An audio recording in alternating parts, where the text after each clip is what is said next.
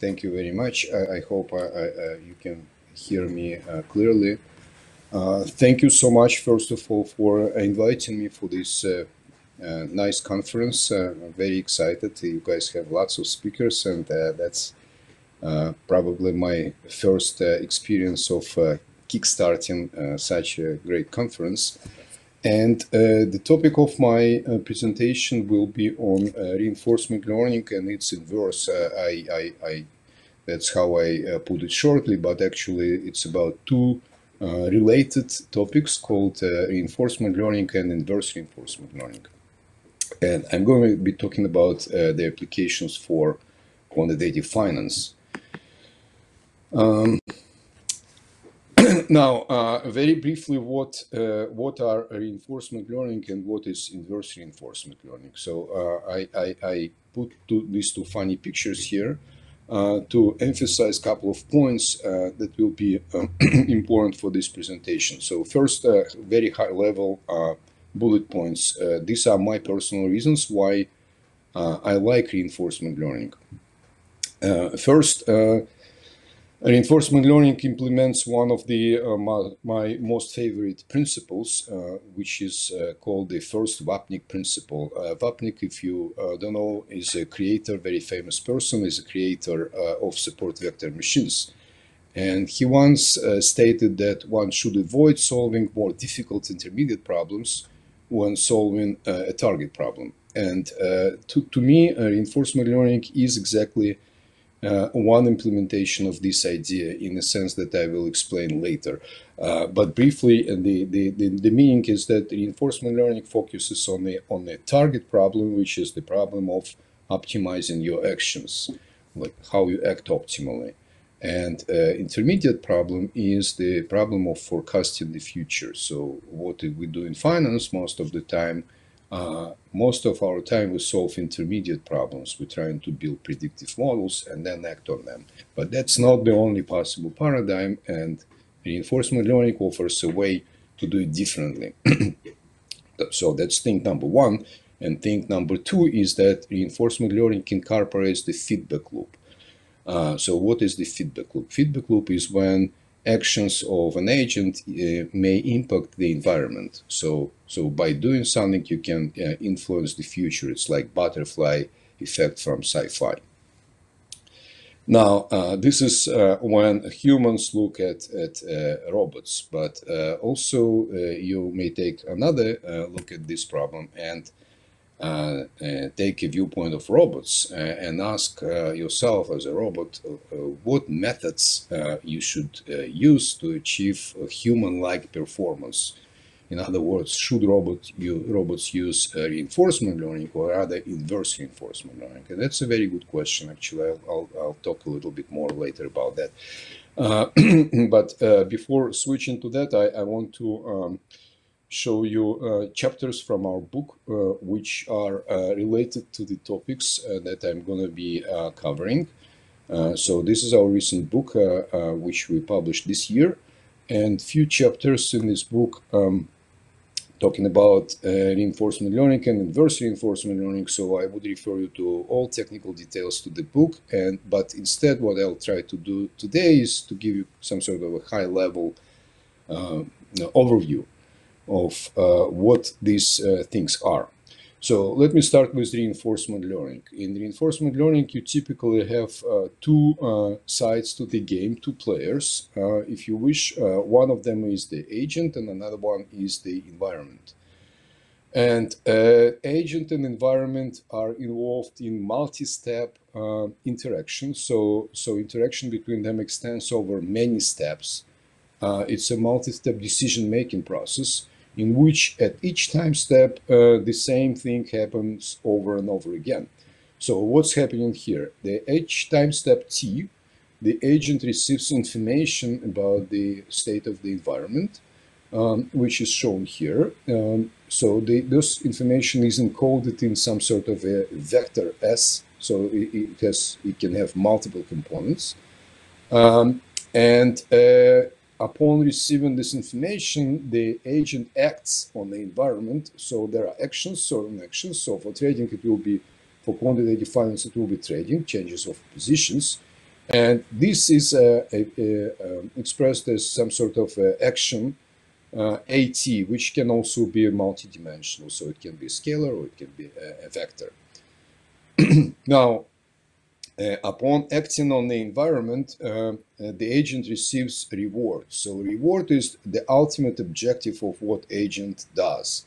And uh, the objective is to maximize the total reward from taking actions over the whole course of interactions with the environment. Uh, now, uh, so these are three important um, variables in, in this in this problem. But also there is one more which is uh, very important uh, effect, and this is this feedback loop that I just mentioned. Uh, so this feedback loop, the presence of this feedback loop is the key difference between reinforcement learning and um, and other uh, areas of machine learning such as supervised learning or unsupervised learning. It never in, uh, happens in, in, in, supervised or unsupervised learning. Nevertheless, uh, in reinforcement learning, there is a provision. You don't have to have it if you don't want, or, or there is no reason uh, for, for, this to be. But there is a provision for, for this effect. So whenever the agent acts on the environment with actions A, uh, uh, receiving reward RT, uh, it may have the, the, the, effect of change of the environment encoded in this feedback loop. Now, uh, uh, and, and there are many uh, different cases of the environment. that can be observable or partial observable, stochastic or deterministic, episodic or sequential, etc. Um, but this is the general scheme. And what this uh, framework uh, tries to achieve is uh, a more practical ways of, um, of solving very classical problems of optimal control, which were pioneered by Bellman in, in the 50s uh, under the name of dynamic programming. So reinforcement learning is the modern approach to uh, solve exactly the same type of problems, which are not solvable beyond simple cases in the, in the classical approach. So this is the general framework for reinforcement learning and specifically for finance, uh, you have almost the same thing. So you can look uh, at typical financial problems such as portfolio management as a reinforcement learning task in which you have the agent being the portfolio manager and the environment being the market. Um, and uh, as before, uh, the, the task amounts to sequential decision making by doing trades in the portfolio um, uh, and uh, rebalancing portfolio in, in, in, different ways. And obviously, because uh, as we said, the problem extends over multiple steps, uh, it also involves planning and forecasting into the future. So this is where your predictive models, if you want to use predictive models here, there are other ways way, uh, which do not force you to do this. Um, but uh, uh, this involves some sort of a planning and forecasting into the future. Uh, now, a very important thing which I mentioned before, this feedback loop. Um, so feedback loop is very natural uh, uh, in, in, this sort of applications. If you think of a large uh, trader, a large institutional trader that does so many trades that it moves the market. And in, clearly, in this case, the market impact effect, what we call in finance, is the one of the manifestations of this feedback loop. Uh, so, so this is the very uh, classical, uh, uh like this is the setting which fits very naturally into the framework of reinforcement learning. Now, there is another uh, very interesting twist of this whole uh, formulation, and this is called inverse reinforcement learning. So what's the difference between reinforcement learning and inverse reinforcement learning? Uh, I, we have again the same uh, diagram, which is uh, uh almost the same as before. Um, uh, there is only one difference, uh, and this difference is that now the rewards are not observed. So imagine that you have a data set. these things are normally done historically. You have a data set collected from um, actions of, of some agent. It can be either human agent or artificial agent. Um, and the data amounts to stored values of, of prices or whatever else additional information is in this vector. Uh, right? So for each time uh, t, you have uh, this vector of state, including prices, etc. maybe some macro factor variables like portfolio information. Everything is in here. Uh, now, uh, and uh, the, the trades amount to some changes of the positions in the portfolio shown here. Uh, so these two elements are the same as before. The, the, the, difference is that right now you don't have observed rewards. So you observe some behavior and you don't understand why agents, uh, agent, the agent took certain actions and not others. So you have to, your task is to rationalize the behavior of, of an agent. And clearly this is a very, very general formulation it's of uh, uh, there is lots of interest in, in problems like that, not only in finance but also in other areas, for example, in marketing. So if uh, if you are a marketer or or, or otherwise want to sell your product to the clients, clearly if you understand the motives and the rationale of, of those clients, it will be easier for you to sell uh, them uh, services which fit better to their needs. And the way to understand it, the way to understand the, uh, preferences uh, of, of your clients is via uh, using these methods. Uh, now, coming back specifically to finance, uh, uh, one simple example where such approach would be very useful is when you trade. So in finance, you most of trades are done through exchange and the uh, uh, and this thing uh, adds some complexity to this whole formulation. I'll talk a bit later about that. Uh, but in, in, more simple case, when you trade uh, not uh, anonymously through exchange, but rather with a counterparty, so you trade with another portfolio manager in this case. for this formulation, for this setting, this formulation would be uh, could be adjusted, uh, mm, it could be applied in a very straightforward way because here you have an agent uh, which who, who trades with you and your task is uh, by observing those traits to understand the, the utility function, what is called. So utility function is the is the quantification of desirability of different actions by the agent. So if you observe actions of the agent, uh, in this approach, you assume that those actions in, are intended to maximize uh, some function, uh, and this function is called an economics utility function, and reinforcement learning calls it a, a, a reward function. So, so the, the objective is to maximize the total reward, which is obtained by summing up rewards from individual time steps. All right. Uh, now, um, so uh, now I want to say a few general comments about uh, how we can start uh, applying reinforcement learning and inverse reinforcement learning to problems in finance. Uh, so, uh, so to reiterate what I said before, the, the reinforcement learning is the is a modern paradigm for uh, solving very classical problems of optimal control in, in real world. Uh, and uh, this approach is, uh, is generally data-driven and sometimes even model-free.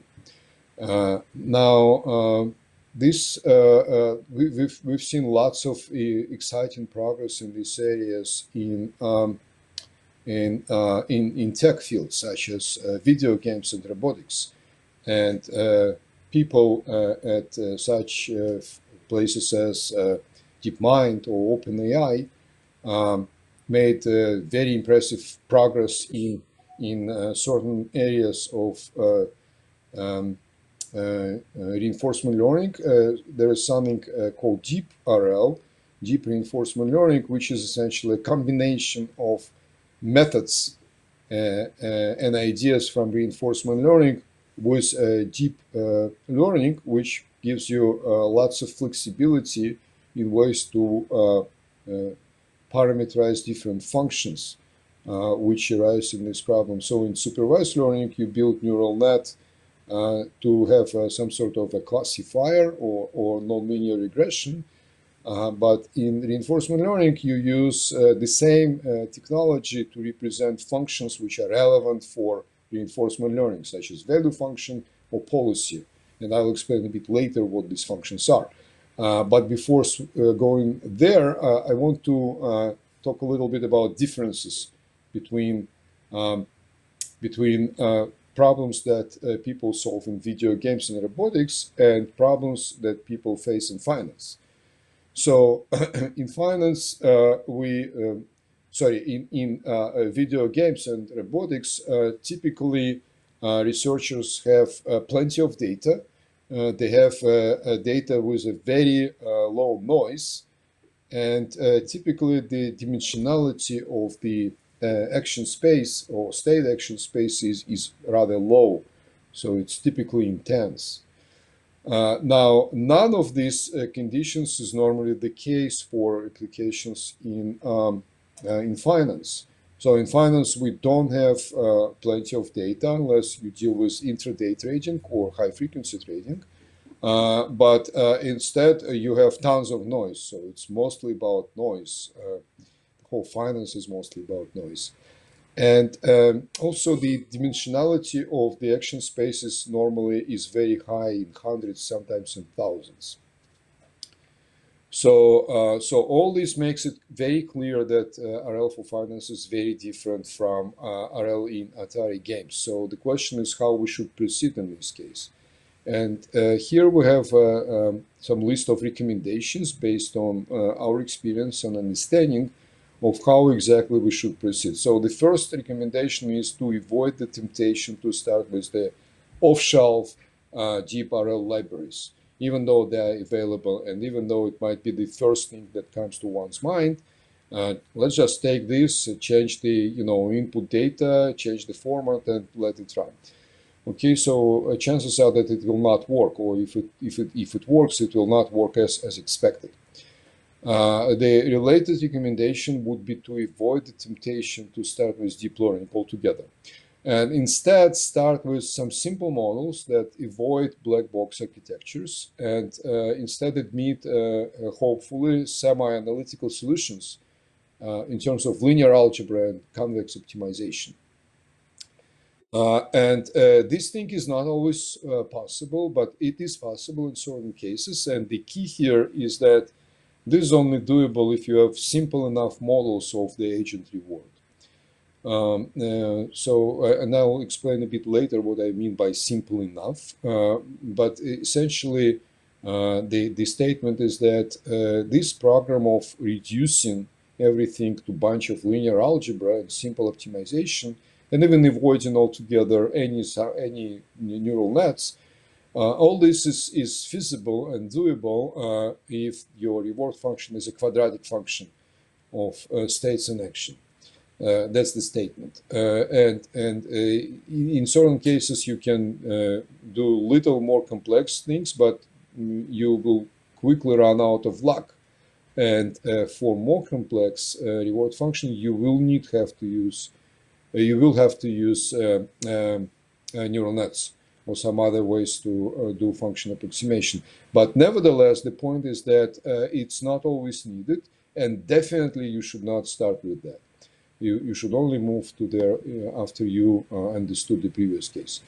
Uh, now, here's a little bit of, uh, of it's not even math, but rather like notations, like how these things are organized. Um, so the, the, the, the main uh, workhorse for uh, this sort of problems is the is the formalism called Markov Markov decision processes, uh, which is shown here. So what happens here is that Markov decision process is described by a sequence uh, of uh, states, which I uh, mentioned before, which belong to some set of states, and this set can be discrete or continuous. And you have those sections which also belong in some set, which is uh, uh, a set of either discrete or continuous actions. Uh, now, a few key elements of this scheme are transition probabilities. So these are probabilities of transition from some previous state st uh, given action at to some new state uh, sub t plus 1. And uh, the reward function, which is the objective of this learning, as we mentioned, is, is a some function that maps uh, the, the, the, the, those two sets. Uh, so it's a function of a state and action uh, producing a number. Uh, now, uh, one more element is the discount factor. So discount factor is something that enters here. Instead of optimizing just the sum of uh, all future reward, you optimize discounted sum, which is shown here, and the full expression is here. And the meaning of this discount is more or less the same as discounted finance. So you value immediate rewards more than you value uh, rewards in the distant future. Uh, now, uh, how you solve this problem? The problem is solved by specifying, uh, so this is again the goal. Uh, now, uh, because as we said, the environment change and the rewards refer to points in the future, you cannot directly optimize this thing because it's stochastic. But what you can do instead is to optimize the expected value of this thing, uh, which is shown here, right? So, so all these uh, terms in the sum refer to some future dates, and therefore you optimize the, the, the expectation, the present value of this sum. And the way you do it by choosing what is called policy. So policy is exactly your uh, prescription how you act. So given a state, the policy tells you what actions you should take. And there are two sorts of policy. One of them uh, is uh, what is called deterministic policies. So in this case, uh, you have a deterministic prescription of what you have to do, and that's the function. Uh, so every time you find, or the agent finds itself in a certain state, it will act the same way. Uh, as opposed to that, there are other uh, policies, uh, other type of policies, which is called uh, stochastic policy. In this case, the, this function is not a function anymore, but it is rather probability distribution. So you have some variability, and the, in general, the, the, an agent will act differently uh, in different states of mind, uh, states of, of the world. Now, uh, so in the book we have uh, lots of examples and probably the simplest possible example of reinforcement learning in a kind of financial uh, like setting would be this example which is the our adaptation of a very famous uh, problem from a great book by Sutton and Barto on reinforcement learning uh, where they introduced this cliff walking problem which we restated and rephrased uh, as financial cliff walking. So what is this thing? It's a, it's a it's a very simple uh, um, problem in which uh, you it's it's actually basically stripped down of all the complexities. Uh, like there is no stochasticity, there is very low dimensional uh, state and action space, etc. So what's happening here? Imagine that you have an agent that has to uh, has a very simple task of maintaining a bank account. So x-axis is the time, uh, discretized in, in number of steps, uh, something like 12 steps here. And the y-axis is the balance on a bank account, also discretized for simplicity into four different values. Uh, now, the task of the uh, of the agent is to is to maintain uh, this uh, bank account. Um, there are few few constraints here. One constraint is that, uh, uh, so at each point in time, uh, let's say the agent is at this point in time with this amount of money on the account. Uh, now, the, what uh, the agent can do in the next step, it can uh, do nothing. So in this case, it will move here to this cell. It can add to the account, and in this case, it will it will move to this cell or it can withdraw from the uh, account that in this case it would move to this cell. Okay, so this is what happens if the agent is in this cell. But if the agent is at some point in, in this level, so the minimum amount of the on the account, if in this state the agent withdraw funds, then it goes to bankruptcy. So this is not uh, a desirable outcome. It's actually highly undesirable outcome and we penalize it uh, by a big penalty for this. So whenever agent is uh, in any uh, of these cells and moves downward, it incurs a negative penalty of minus 100. Now, in all other cases, uh, uh, if the agent does nothing, so moves along, uh, it doesn't incur any cost. But any other actions like adding uh, to the account, which would result to this move, or withdrawn from the amount which would result in this move, will incur a cost of 10 bucks. Right? So the, the, the, the task of the agent is to maintain, because of that, the agent has to maintain the minimum amount possible and then withdraw all funds. So, so the optimal trajectory is extremely simple, and it involves only two actions. First, uh, initially the agent deposit money, and then does nothing at all, and then withdraw money.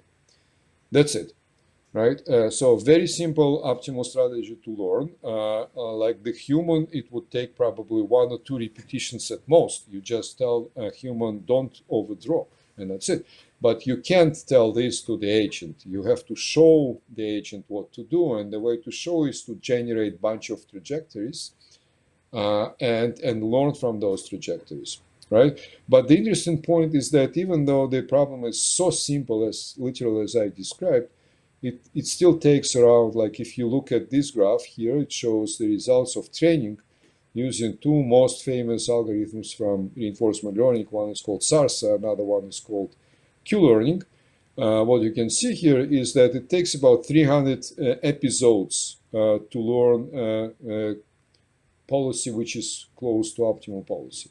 So if it takes 300 steps, even in this simplest problem, right, which has nothing essentially, no stochasticity, no nothing, uh, you can imagine, just imagine how many repetitions it will take in more realistic cases. Uh, but fortunately, not too many. We have examples from option pricing in which uh, which is like much more realistic, much more close to the reality. And in that case, like you you might uh, get along with something like uh, fifty thousand uh, uh, samples or, or, or, pretty low number of episodes as well. All right. So, so this was an illustration of how reinforcement learning works, and we also illustrate how inverse reinforcement learning works using the same setting. So you can use the same formulation uh, and uh, generate bunch of trajectories um, uh, uh, uh from um, uh, from this environment, and then learn the the optimal policy from these trajectories. And there are actually a number of algorithms that uh, you can use for this task. There is one very important point uh, to, to keep in mind here that I, I, I, can't, for the lack of time, I can't go into details of how these algorithms work. Uh, but uh, one of the assumptions there is that uh, is that uh, uh, many of these algorithms, including, for example, this one, maximum entropy inverse reinforcement learning, which is one of the most popular ones, uh, the assumption there is that the data collected uh, uh, uh assumes that all actions are either optimal or sufficiently close to optimal. So the data is assumed to be nearly optimal in terms of the policy. And clearly, it's not always the case. And moreover, in some applications, it's not even uh, obvious what should, what data is optimal and which is which what data is not. Uh, uh, so uh, there are other algorithms which do not make these uh, uh, restrictive assumptions, and there is one which is one of my favorite ones. It's called TREX, which stands for trajectory-based extrapolation, and this algorithm learns the intent of the agent. Uh, uh, rather than received rewards. These are not the same. Uh, this is not the same, and intent learning intent is in some ways preferred uh, to learning the actual rewards. So in the book we have examples of how different algorithms perform. Here, uh, for the lack of time, I will not go into explanations here. If you have questions, we can uh, come back to this. Uh, but the conclusion uh, which you can draw from these experiments in this uh, particular environment is that TREX works indeed better.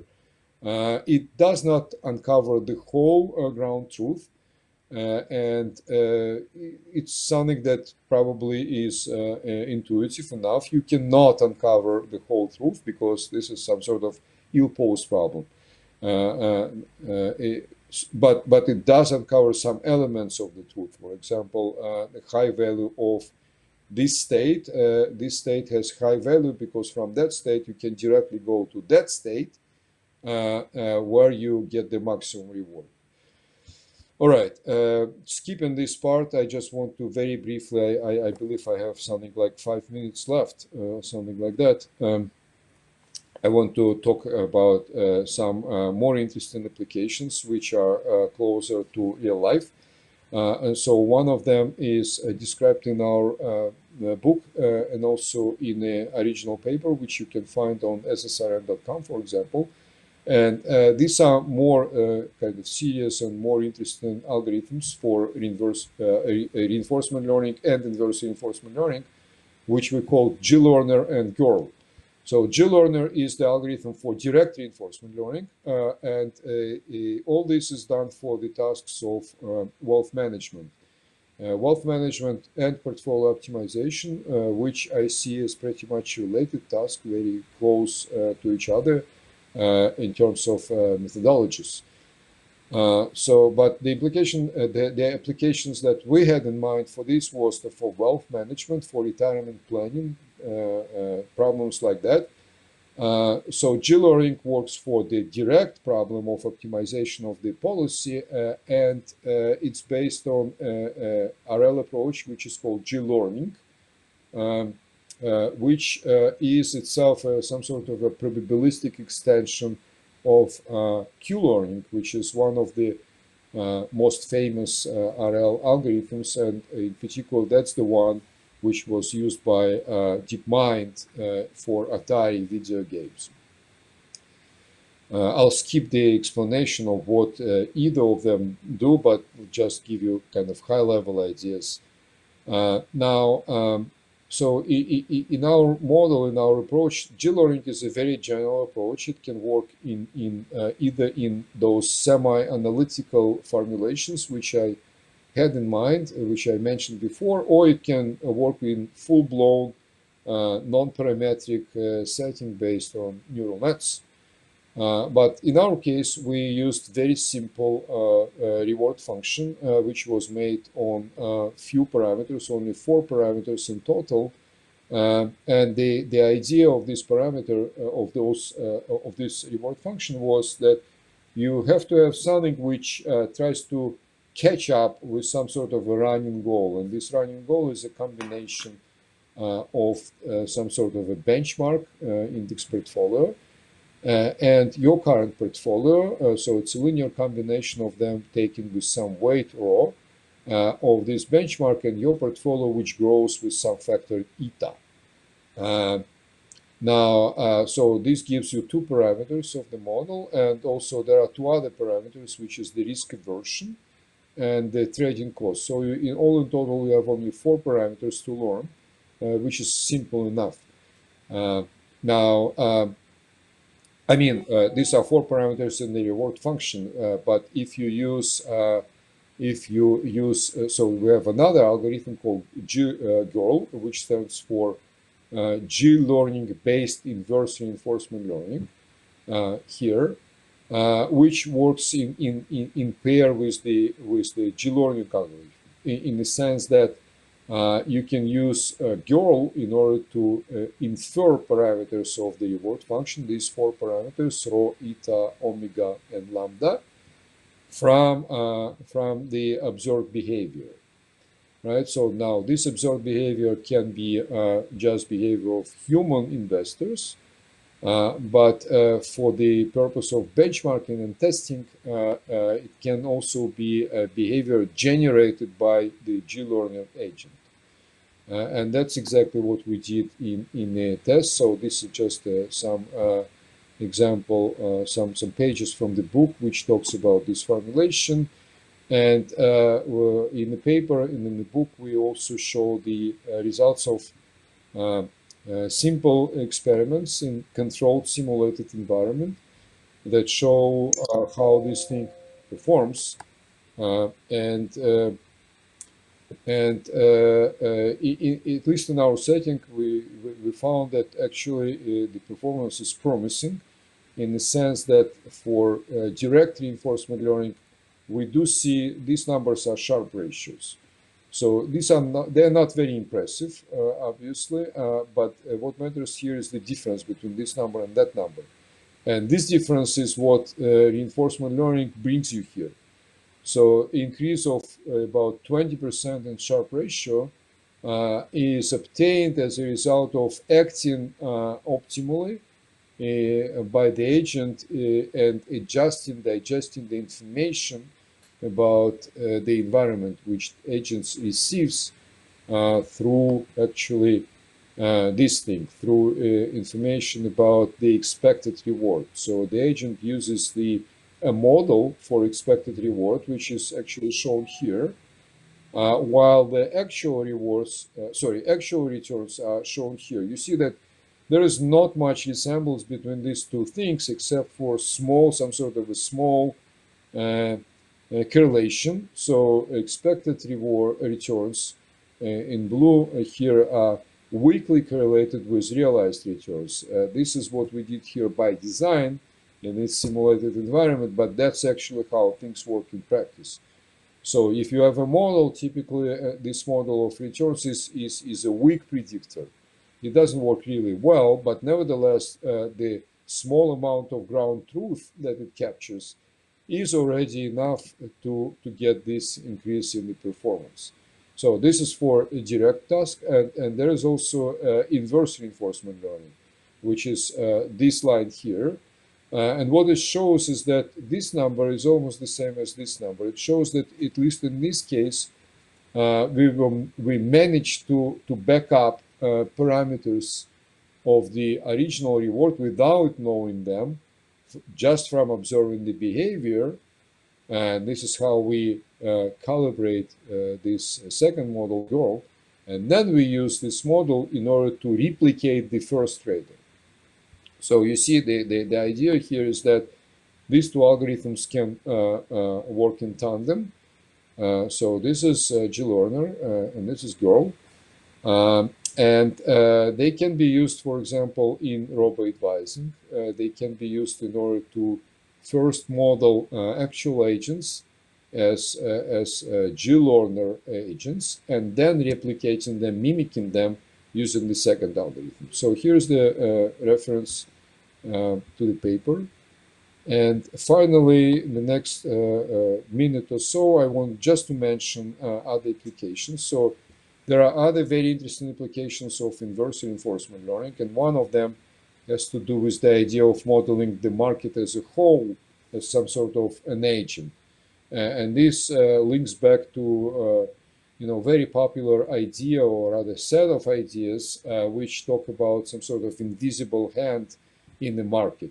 And we can think of this invisible hand as some sort of collective wisdom of all market participants, uh, which we aggregate into some sort of a super agent. So if this is super agent, if the whole market is a super agent, then we can ask the question, like what are the preferences of this super agent? What is its utility function? And if we formulate the problem in this way, we can apply methods of inverse reinforcement learning to, to learn the reward function of this agent. And once we do that, we can convert it into some views of market dynamics implied by this inferred view. Uh, uh, uh, of, of, of, of how it works, taken from this inverse reinforcement learning perspective. And there is a, a, a paper which we have on SSRN with details and also a little bit more digestible formulation is presented in our book. Uh, so again, because I started with the book, I want to uh, end with the book as well. Uh, so by by showing you like what is uh, what else is there. So we have introduction to reinforcement learning, chapter nine, and then we have uh, we cover uh, different applications of reinforcement learning for trading. Some of them I mentioned already. Uh, today, some I did not. Uh, I briefly mentioned option pricing, uh, applications to portfolio optimization, wealth management, etc. also, a very long chapter on inverse reinforcement learning, which I only very lightly touched uh, in this presentation. And uh, for those of you who like physics, as myself, uh, there's also the final chapter uh, uh, about frontiers, which talk about many different and exciting links uh, between reinforcement learning and inverse reinforcement learning and physics. Uh, and on this, I, I, I would like to, to, stop and maybe take questions, if any. Thank you very much.